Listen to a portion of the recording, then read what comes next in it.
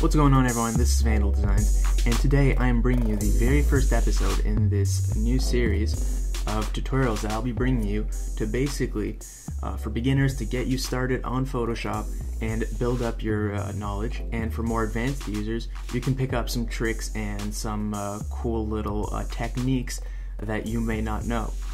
So since this is the first episode, we will be starting from the very basics, which is setting up Photoshop and optimizing your interface in order to really uh, get the most out of your time and your work. So let's get going, shall we? So right here, we're in the uh, opening interface for Photoshop. You can see right here all of my recent projects. If this is your first time in Photoshop, you're not gonna have anything here, obviously, because you don't have any recent projects. So uh, the very first thing that we're going to look into is customizing all of your panels. So I'm just going to create a new document, uh, just a blank normal document right here. And this is my current setup. And if we go into essentials, this is how Photoshop should look by default. Now, obviously, if you are a Photoshop veteran and you've got your own interface set up that you're very comfortable with, stick with that. Uh, if, on the other hand, you are new to Photoshop, you've never used it, uh, I recommend setting it up as I'm going to show you, which is exactly how, how I have it set up. And that way it'll be much easier for you to follow along. And of course, even if you're used to Photoshop, you can always uh, change it to what I'm about to show you or incorporate elements from it if you so desire.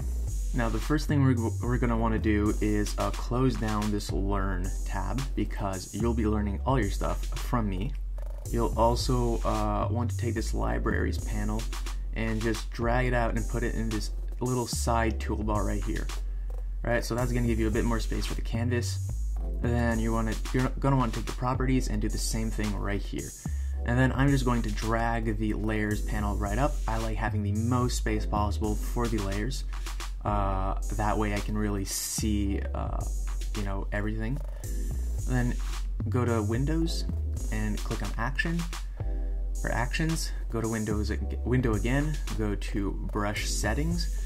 Now, Brush Settings and Brushes is going to pop up in that little sidebar. Uh, right click on the brushes one and click close. I don't really see the need to have that personally. Go down, and click on character, same deal, two are gonna pop up, so you're wanna, gonna wanna right click on paragraph and click close. Then go to window again, and select uh, layer comps. You're going to want to keep both of those. And then go into layers again, extensions, and Adobe Color Themes. Now, I also have the Getty Images plugin installed. You can download that, uh, just Google it. Uh, I like to have it in here as well.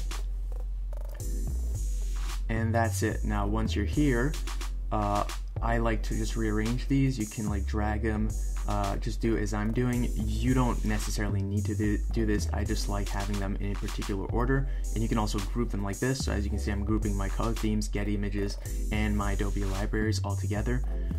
Uh, and this is how I like my little sidebar look. Then I can go into Windows once again and click on uh, Styles right down here. And that's gonna pop up next to the adjustments and then uh, I'm just going to click back on adjustments. Styles I rarely ever use, but it's good to have it there just in case. Now it is time for the shortcuts. Uh, the shortcuts, I've got a few custom ones. Uh, they're very important. Um, and they really just help uh, speed up your workflow and uh, basically make it so that these these functions and actions that would uh, usually take you like a few clicks, a few you know drop down menus, but that are used very uh, often. Well, I have those just you know at, at the click of one or two buttons. So you go to Edit and scroll all the way down to Keyboard Shortcuts. You want to make sure that uh, where it says Shortcut 4, it says Application Menus. And then from there, uh, you go down to edit, scroll down until you see transform right here. Scroll down a little bit again. Under transform, you're going to see warp. I've said that to Command W. Once you've said that, you're probably going to get a pop-up saying Command W is already being used. uh, in that case, you want to click OK and basically overwrite it. I have flip horizontal set to F5 and flip vertical set to F6. Now, those are simply because those are my available keys on my little compact Mac keyboard. Uh, you can set these to whatever you want. I like having it F5 and F6. Then scroll all the way back down and you can minimize the edit tab, then go to layer and scroll down. It's, there's going to be quite a bit of scrolling to get to this one.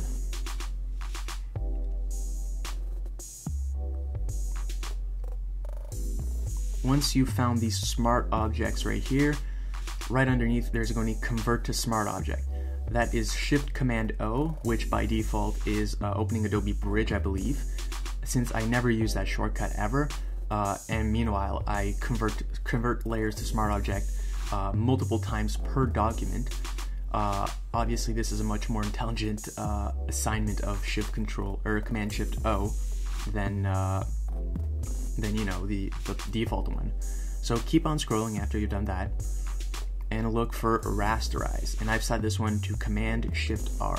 And oh, by the way, uh, for PC users, when I say Command, uh, for you it's Control, and when I say Option, that means Alt. So scroll all the way back up to Layer, and you can minimize that, and then go to Filter. And for last filter, hit Command F. Um, this one's also this one's more of a personal preference. I just like that's the old way to do it, uh, and they changed it in CC 2018, and I just keep changing it back back to Command F at every update because I don't like the uh, new one. Now it's time for the brushes. So uh, just hit B on the keyboard, that's the shortcut, and you can go up to the upper left hand corner right here and click on that little drop down arrow and here you will show uh, you will see all of the brushes. These are all my brushes. You can actually download them in the description. There's going to be a zip file or a zip uh, a download to a zip file. And you can uh, just unzip that and then go to the little cogwheel scroll down to import brushes and then just find the uh, I believe it's an ABR file. And uh, right there you're gonna have your brushes. Now your brushes might not look like this as you can see, I have the brush name and brush stroke disabled and the brush tip enabled. That is how you get this little thumbnail preview like I do right here.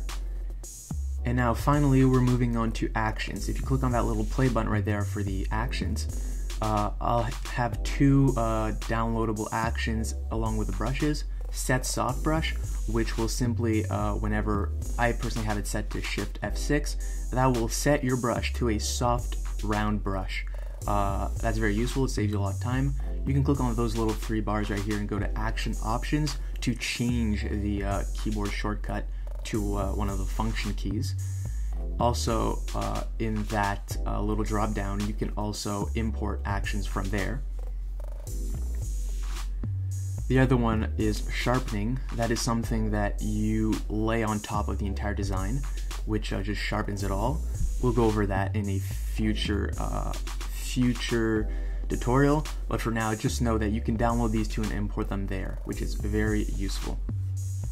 So that is going to do it for setting up Photoshop and really just optimizing your interface as well as your shortcuts and your your, your actions, your panels, everything uh, in order to really uh, maximize your, uh, your your time and optimizing uh, your workflow. If you've got any questions, leave them down below. I'll do my best to answer them. Uh, and uh, really looking forward to uh, continuing these tutorials and getting deeper and deeper and more uh, complex and technical with uh, these design techniques. So hopefully you liked it. Uh, thanks for watching, and I'll see you next time.